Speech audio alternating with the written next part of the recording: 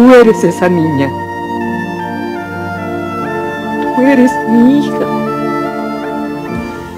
¿Y tú crees que yo voy a quedarme con los brazos cruzados? ¿Crees que voy a permitir que la destruyas?